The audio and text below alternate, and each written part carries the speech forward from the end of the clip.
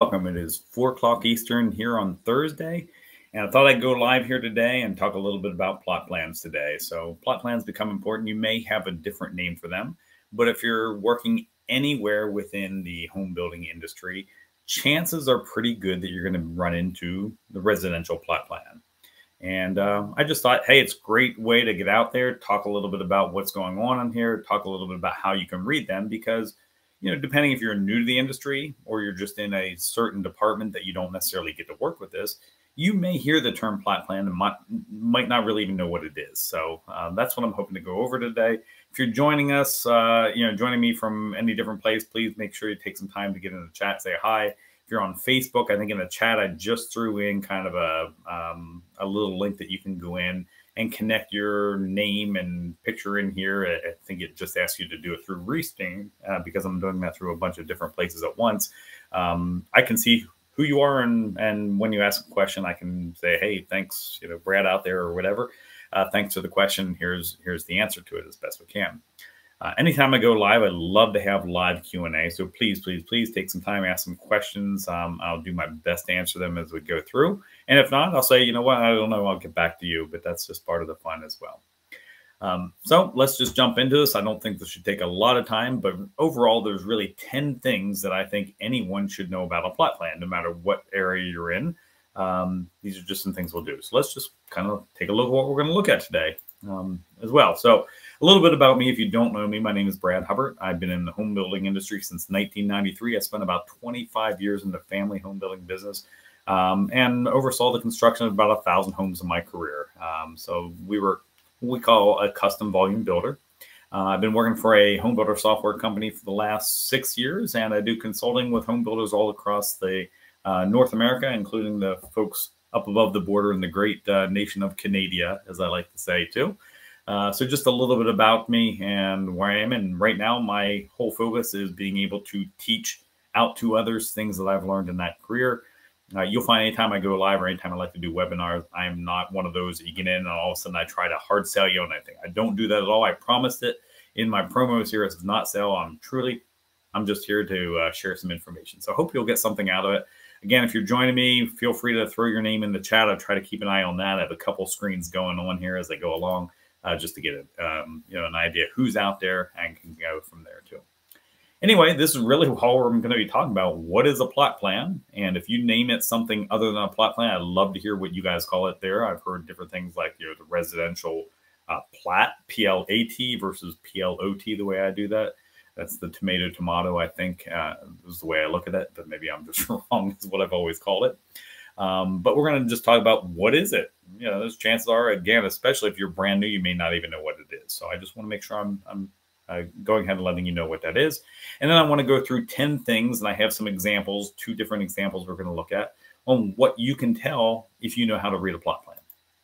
All right. So again, please, please, please take a look at the chat, ask questions, try to keep my eyes on the uh, on the chat as we go through here. And let me get this out of the way and uh, go ahead on that. So, all right, so you're lucky, whoever's on Facebook said, How do you snooze this video? Because you didn't connect your name or anything with that link I put in there at the beginning, um, that uh, I don't know, it just says Facebook user. So, uh, so it's good. I have no idea who just said that. So, uh, thank you. And I'm glad you were just kidding too uh, as we go through that. I have some guesses, but we don't know.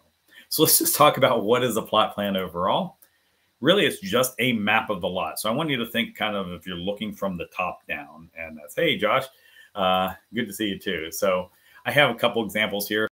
So a lot of times a plot plan they can start. And Josh, I think you had was different. Didn't you put that in one of the comments in my promotion ahead of time on what you called the plot plan? I called the plot plan. I think you had a different name. So if you throw that in there, let me know. Um, so this is again a map of the lot a lot of times if you're getting ready to build before you actually uh, build and and uh, put anything on you see the lot itself and that's what we're seeing here. There's no house on this here. If you've not seen a plot plan i'll kind of go over this. A look over here of the different corners that you have on here um, and we're focusing primarily on this one. I don't know if i have a little thing i can do a laser that you can kind of see those different types of things too. Um, but this is what we're going to see. Once you we get into this you're going to learn what you're looking at here above too so again, looking from the top down, if you're in a drone flying over and you're looking down to be able to do that too. Then this is one that has a house on it. So I actually took plot plans. These were from from some properties on which uh, our company had built homes on it. You can see this is a pretty detailed one. There's all kinds of different sizes. We look closer to it uh, in one of our developments. So uh, we'll be able to use this to explain what you can learn uh, just from looking at it. So yeah, Josh, you're saying plat, P-L-A-T. Okay, good. I was thinking you had a different name for it too. I don't know because you asked me, are you talking about something? But nonetheless, plot, plat, whichever you do it uh, as well. So this here has a lot. If you look kind of closely, hopefully this is large enough on your screen. There is an outline of a house. Remember, we're in a drone looking from above down. That's how we're uh, kind of doing a bird's eye view as, as uh, per se is what we're doing here. Okay.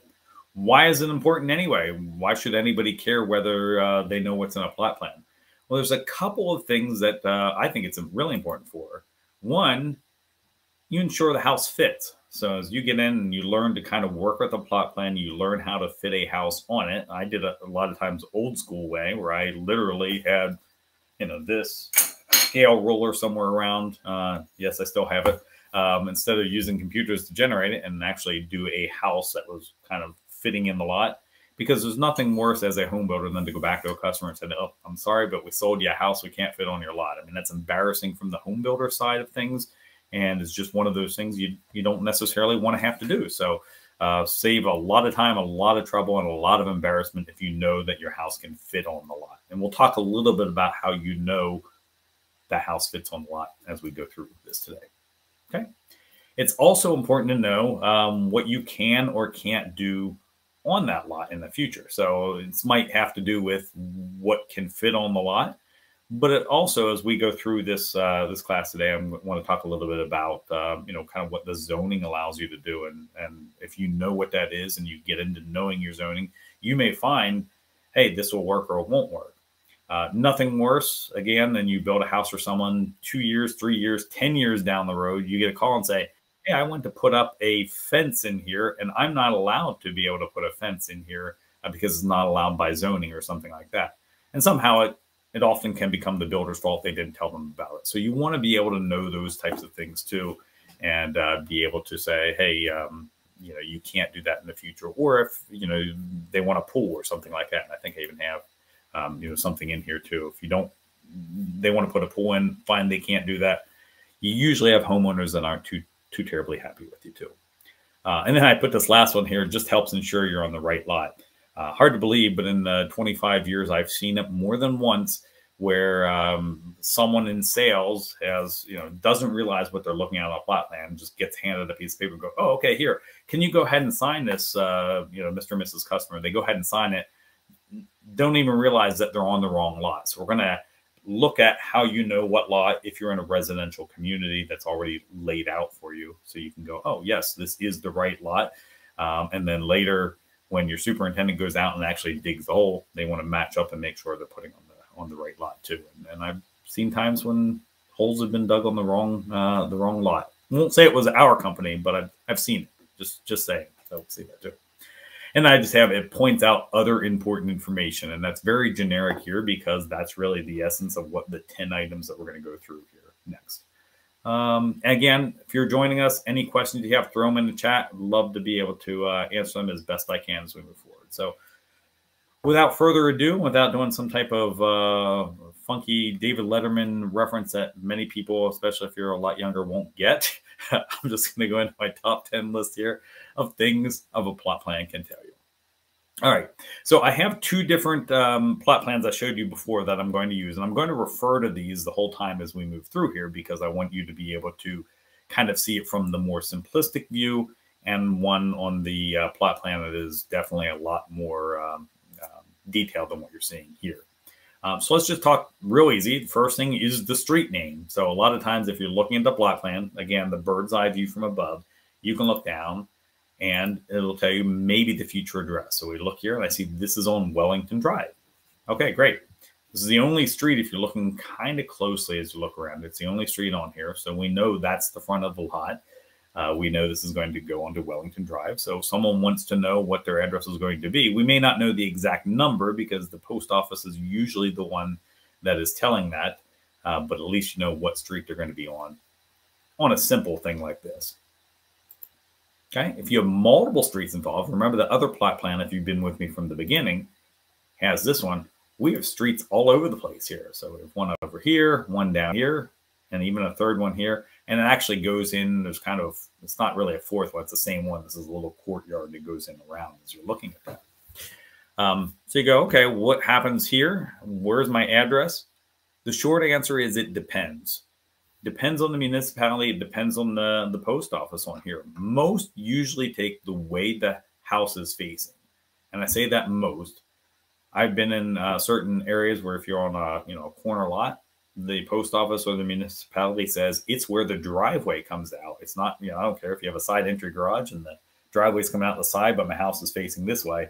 The address is really over here.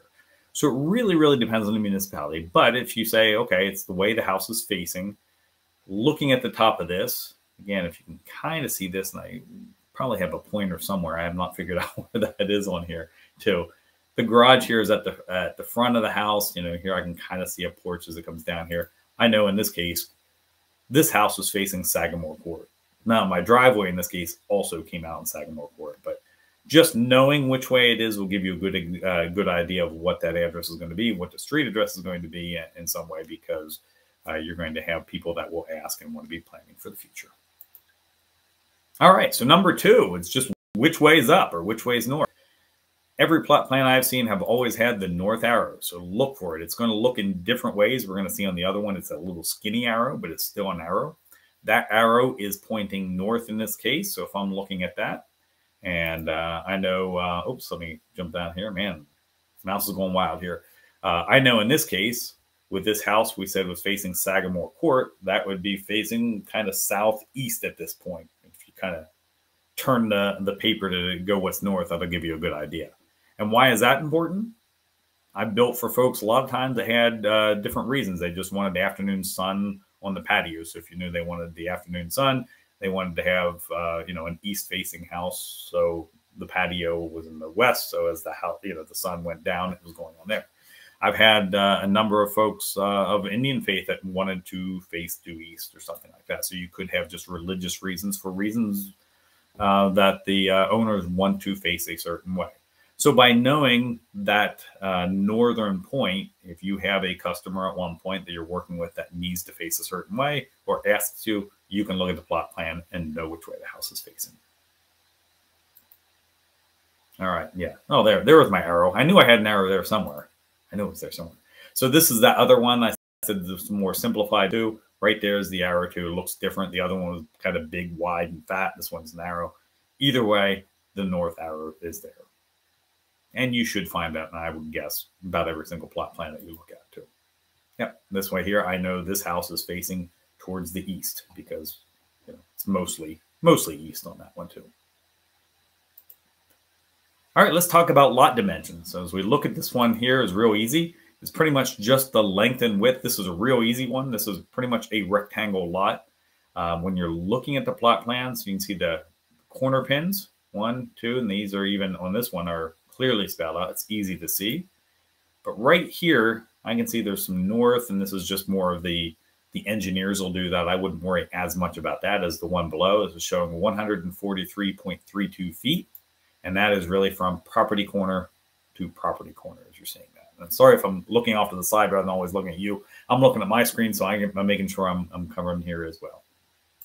Okay, four sides, 100 foot, 100 foot, 143.71 if you can't read that there. So that's almost a perfect rectangle, just a little bit longer down below than it is up above. Easy to see on this one, really easy to see on this one.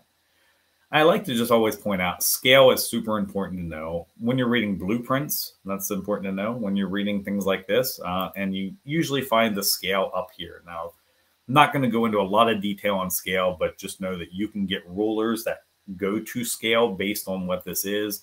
Uh, they look something like this. So it's like a one inch equals 20 feet or something like that. And I can see this one up here said one inch equal 30 feet. So you can find them. They look very similar to this. They have different ones for the actual architectural drawings versus what you use on land, uh, which are engineer scale. Um, so if you ever need to do that, you can look that up. You can find these things at a, a Staples or, a, you know, um, your favorite office supply place or Amazon or wherever you want to get those to. So let's bring in the more advanced one. This is definitely not a rectangle, as you can see. Now, if you can see, here's a point, here's a point, here's a point, here's a point, here's a point, here's a point. There's even one right here, here. That's because this is not a rectangle. you can't tell from that. That scales down here. So I told you the scale you're going to see on every one too. And that's important to know, especially if you want to try to fit something in. You want to try to fit a future pool or something like that. You go, okay, I know the pool is going to be a, you know, a 20 by 40 or something like that. You can fit that in. But here it's harder to see because there's a lot more stuff on here. But here I can see this is 118.71 feet. That's a straight line from here way down to here. So that's that's pretty darn easy. What happens when you have all these kind of rounded circled ones and you're going, wait a minute, I, I can't, my ruler doesn't bend that well too. Well, yeah, you're right. You can't really do that. There are some tools out there that help with that. But for the most part, you're looking at the angles and the radii you're going to have a curve table up here or somewhere on there to say that. So if I look closely, this says like C203 right here. And I know this is super small, but I just want you to get the idea on that. C203, I can look up here and see the radius uh, length of that is about 100 foot of the radius. Um, again, chances are you probably aren't going to have to go into that much detail, but you never know. I've built for engineers who definitely want to know that. They'll eat those charts up all day long it's kind of good for you to know that you know this is approximate length, and you could put an approximate length together on that, so you know this is about 100 feet, probably, uh, or it's 100 feet, but straight as the arrow flies, is going to be a little shorter than that. But give you a good idea on that too. I always put this up here because I know those of you have gone through those uh, classes in high school, and uh, you said, "When am I ever going to use, you know, accounting? When am I? When am I ever going to use angles or radii?" Well, here's a chance when you might get a chance to do that. So your uh, your old geometry teachers are going, "Yep, I told you you'd use that one day." All good stuff too. So, um, so yes, you do use angles and radii. In okay, so the other thing uh, that was kind of your property horns is the size or the acreage of the lot as you go through there too. So everyone's going to do that. A lot of times it's going to show either in square footage and sometimes by acreage or sometimes both. So if you uh, should remember or you should know, there's 43,560 square feet per acre So you don't have, especially in residential communities, you don't have a lot that are a full acre. You do have some, obviously, you have some lots that are bigger, but each plot plan typically is going to tell you what that size is. And here in the middle of this one, and I don't, and again, I apologize, I'm not sure how big it is on your screen. This is telling me this is 14,351 square feet, or basically 0.33 acres. So we took the one acre divided by the square foot to give us how much of that point of the acre on that. Easy to find on this one about everyone. It's not always going to be right in the center of the lot. Sometimes it might be off to the side. It might be down in the corner. Somewhere on that plot plan, if you look around, you're going to find the size of the lot. So people want to know that. So uh, I think Colleen, I see you here in terms of uh, you know even the mortgage side. A lot of times you might need to know the the lot size and those types of things too.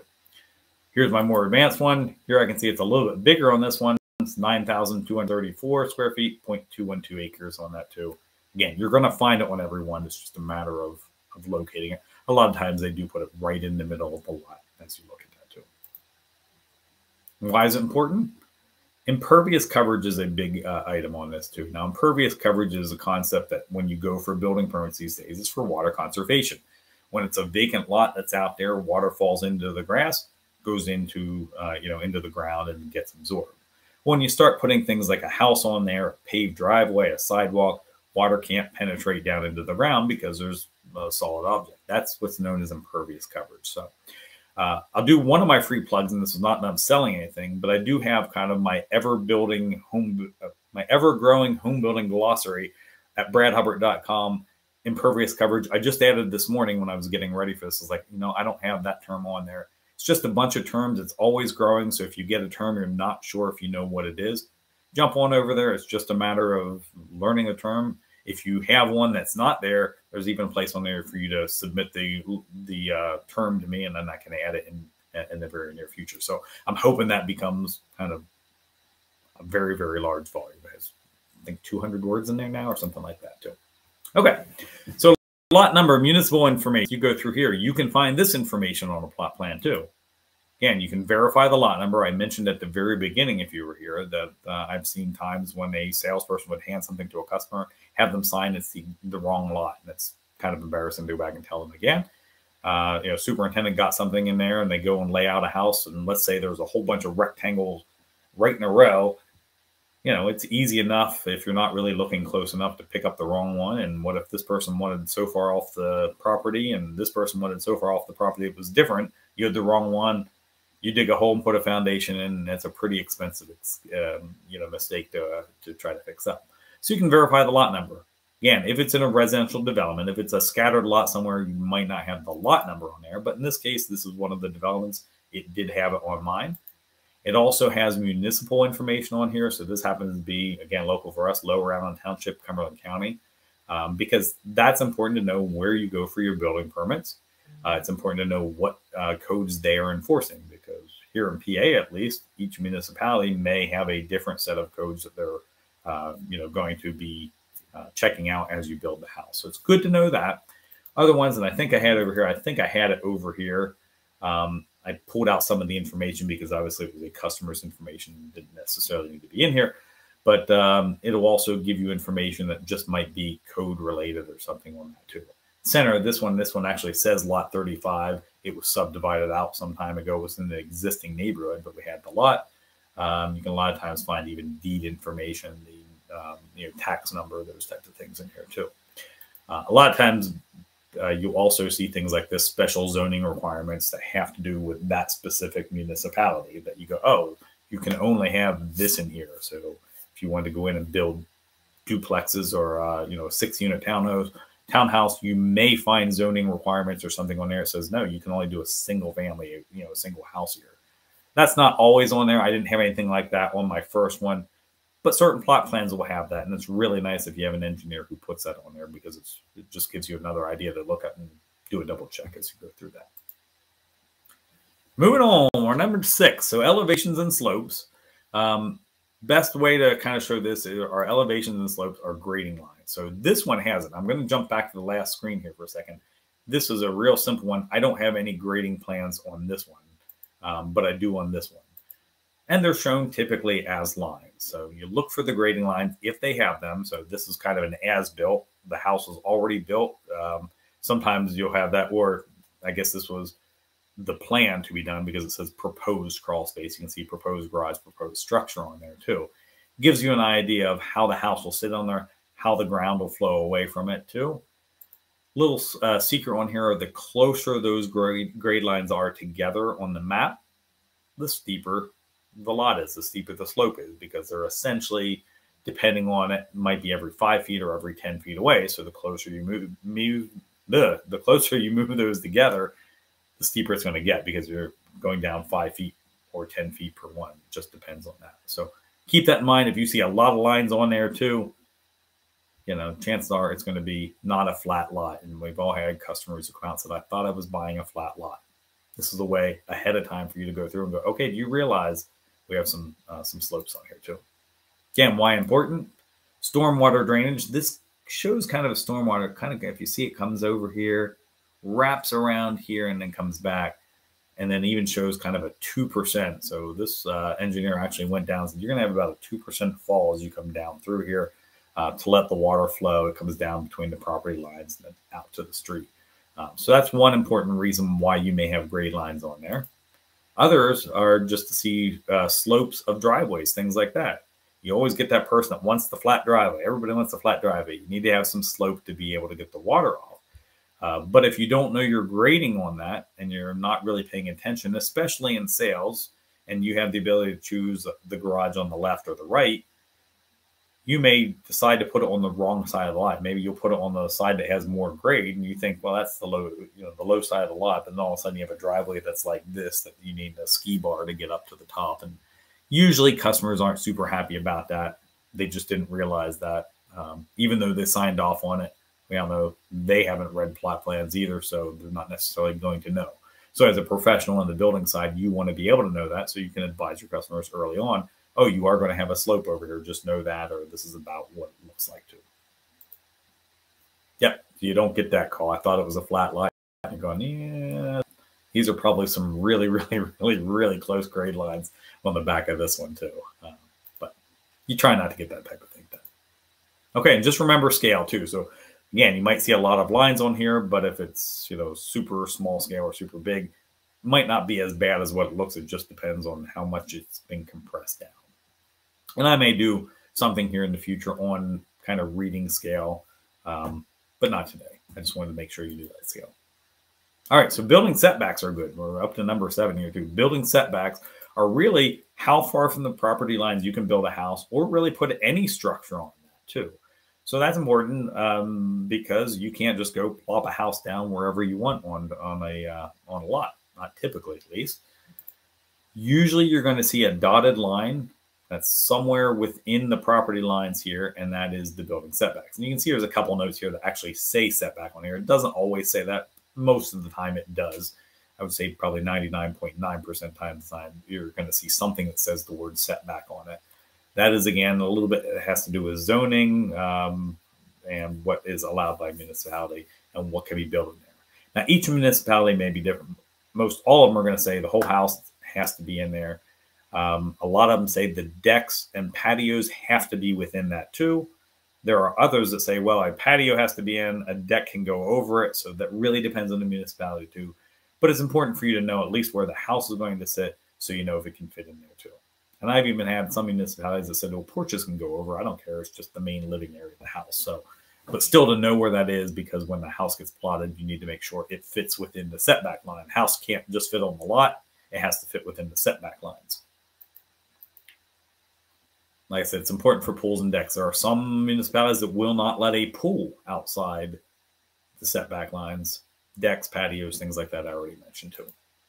So here I can see on this particular one, I have 25 foot from the rear property line right in here to that setback. I've got what 10 foot on this side, 40 foot from the front property line here. And it's probably the same on the other side. Yeah, it's probably 10 foot on this side. It doesn't say. But if I had my scale ruler, I could measure that out and go, oh, it's 10 foot over here, it's 10 foot up here, and you have an idea that you have to stay on there. And you want to have that setback between lots because you don't want them side by side by side by side in single family because you know Mrs. O'Leary's cow took down what Chicago way back and I don't know what date it is. If you know the date, throw it in, in the user thing and let me know what that is. Uh, townhomes, you know, you have zero lot lines and those types of things too. Okay. Important to know from the front setback, a lot of people don't necessarily realize they think it's from the edge of the road or the paved road. And that's not necessarily the case. A lot of times the property line actually starts in residential communities. A lot of times it even starts behind that public sidewalk. So the sidewalk that goes across the front, that you get to shovel if you're up here in the north with me uh, in the winter, isn't really on my property line, but I'm taking care of that. So I don't know, you can take it up in municipality so you can get them to, to shovel for you if you do that. Good luck with that though too. Here's our, our more advanced one. Really, really close, depending on the screen you're on here. But I'm showing 7.5 setback here, 20 foot on this side, 20 foot on this side, 20 foot on this side, and I didn't put in the one, but it's 20 foot here. So it's 20 foot everywhere except for the one in between that property and the property beside it, 7.5. So you'll find them. Sometimes you got to look if it gets as messy and uh, as detailed as what this one is.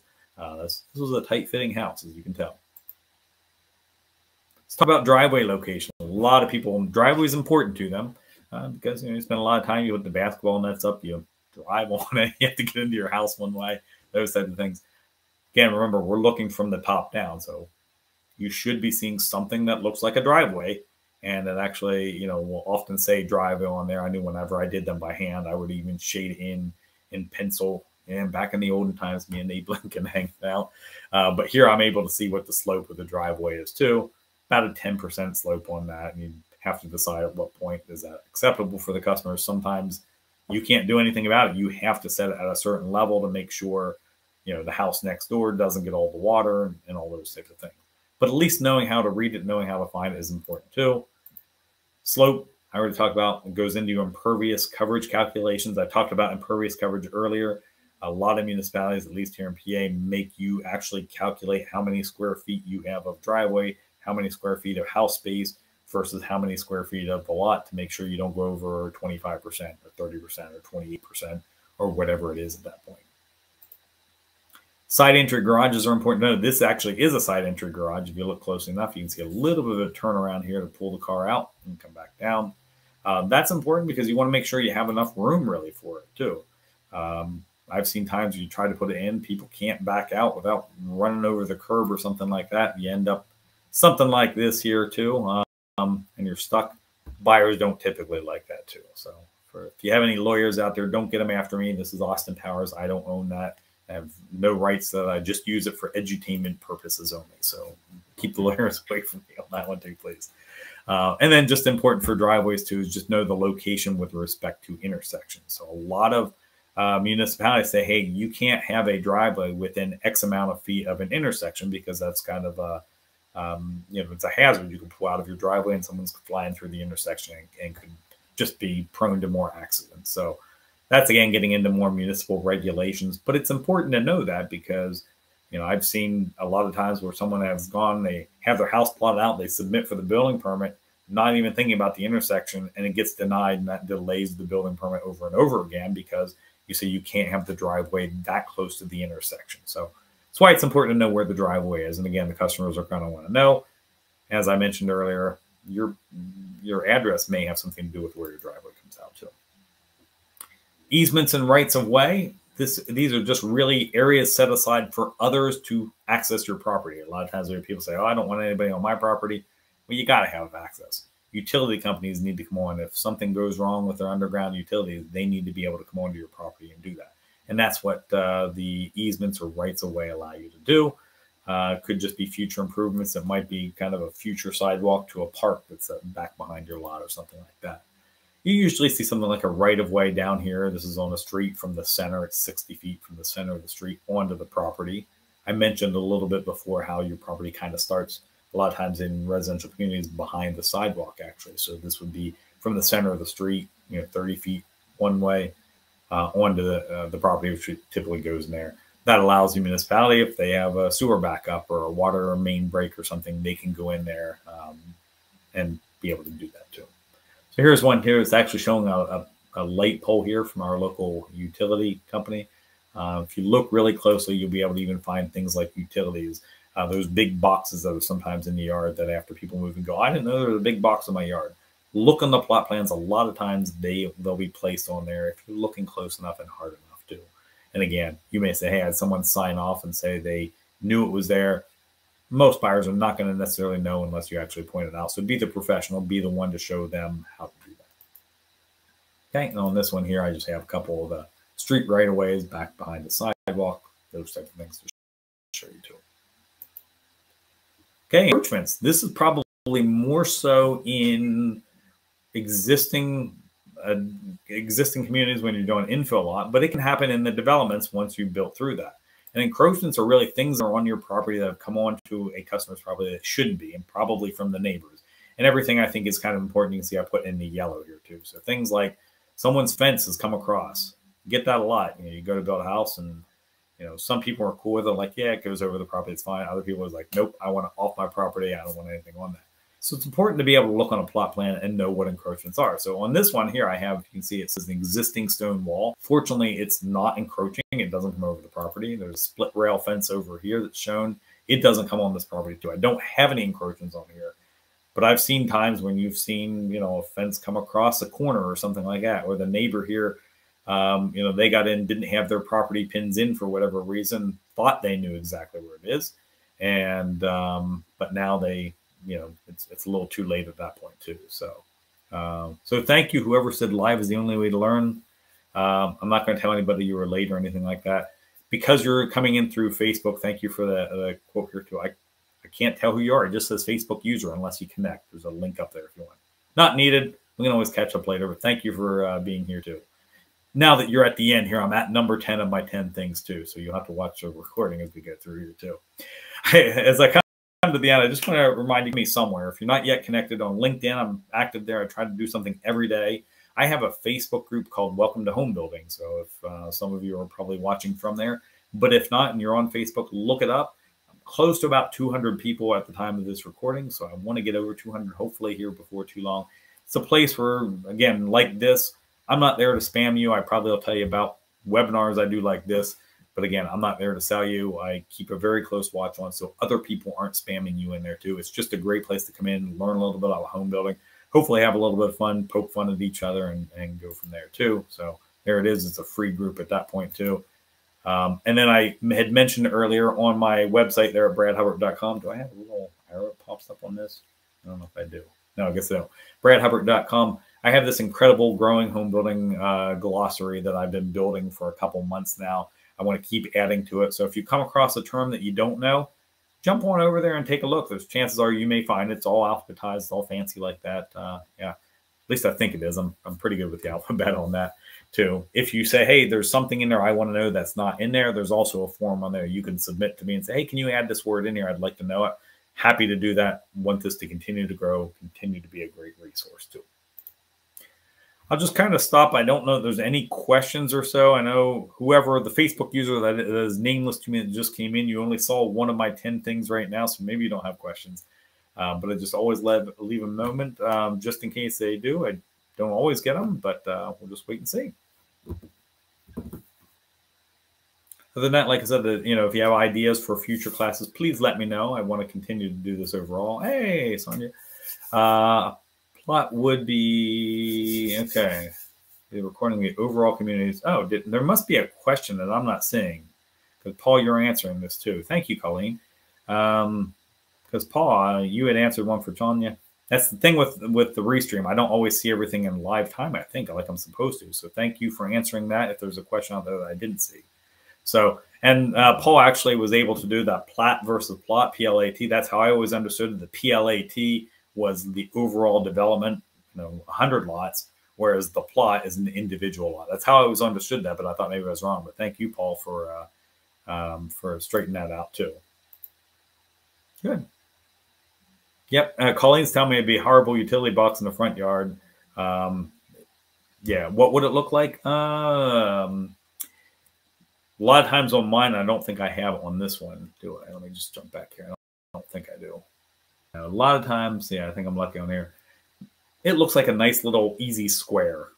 It doesn't look scary or horrible looking on there. It looks like a square. Sometimes I'll have a little point, uh, pointed box that say utilities they're not always on the plot plan. Sometimes uh, in a plat, as Paul was talking about, if it has you know a whole bunch in there, um, sometimes there's a separate page on the overall that's called the utilities plat, and, and that has the utility boxes in there. Usually, at least the engineers we've used would put them on there. And again, it was just just a simple square. Uh, usually would either have something pointing to it saying utility box, or would maybe have like U slash B on it, which would be you know would be utility box, and you wouldn't know what it is unless you knew. But but that is important because you're right. A lot of people don't like that, um, and then they end up going, "Oh, I didn't know it," and then they want to move lots or something like that. Hopefully, they notice it before you actually start digging uh, or got the permits, but that's not always the case. So yeah, look on your utility plot plan. It should be on there most of the time, um, and occasionally, depending on the areas too sometimes like here in Pennsylvania, PP&L will go and they would actually give a separate one that was even separate from the regular plot. But most of the time, you're going to find something, at least around here. I, I, guess I shouldn't speak for that overall too, but yes, definitely know what that is. Look for it. Walk the lots if you can as well too. Paul saying, yeah, great. Uh, when presenting a plot plan, typically highlight in yellow the footprint of the home and the driveway. It helps the buyer understand that's that's a great great tip on that, Paul. And I probably should have done that on here. Uh, I'm gonna have to figure out how to use the little uh, highlights and all too. But yeah, it's great as you're sitting down, especially if you're asking them to sign off. Highlight through it, make sure they understand what it is. You may even get fancy color coded and those types of things. Maybe look around, spend some time before you meet with the customer, see if there's anything weird out there. Some of the tips I was going over today and go, hey, you realize this has a slope at the back especially if you hear the customers thinking it's a flat lot because it looks can be deceiving when you're standing out on a lot. You go, man, this is a flat lot, and all of a sudden they wonder how did I get an exposed basement? Well, because by the eye, when you're out in the middle of you know nowhere, looks can be very deceiving. But you get someone down, you know, your superintendent or someone standing at the back of the lot, all of a sudden their eyes are at your belly button. You know, there's some fall in that too, and that's that may be yeah that may be uh, a future class or something to talk about that too um, because it always looks flat until it isn't you know until it comes down to folks i'm uh, thank you for this and thank you uh, thank you colleen for your uh, chats into me i know they they came actually direct rather than over in the chat over here too. Um, Paul, thank you for being in there too, because you must be seeing some questions. I'm not. I apologize if someone put some chat in and I didn't get it in here. I think there's a bit of a delay because I didn't see the initial questions that came down there too. Uh, so I got to do this a little bit, uh, a little bit different here in the future too. And uh, but uh, but thank you all for taking some time here and taking some time out of your day to sit and listen to me for a while. Hope you found this useful and uh, look for some of these here in the future too. I'm just going to continue to put out some education for those who want to know. And thank you, Paul. I appreciate that too. Thank you, Colin. Uh, Colleen, have yourself a great, great weekend. Thanks so much. Bye bye.